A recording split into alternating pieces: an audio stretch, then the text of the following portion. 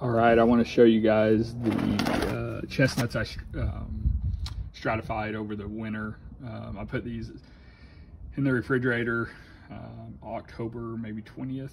Um, so almost four months, about four months they were in the refrigerator. I took them out uh, two days ago, so about 48 hours. Um, and if you notice, uh, there's a lot of them. Uh, there was only one that had started um, when I took took them out. All the rest had not started, so uh, a lot um, have started putting their roots out in less than less than 48 hours.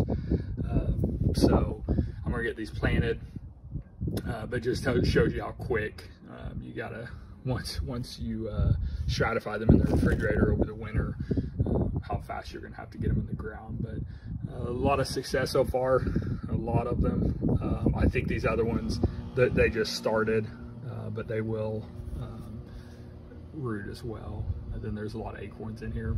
I'm not gonna lie, um, I did not, you know, they said to rotate these. Um, you really don't want this mold to start, but we'll see. I don't think that's gonna hurt them. Uh, I didn't do anything. I didn't rotate them.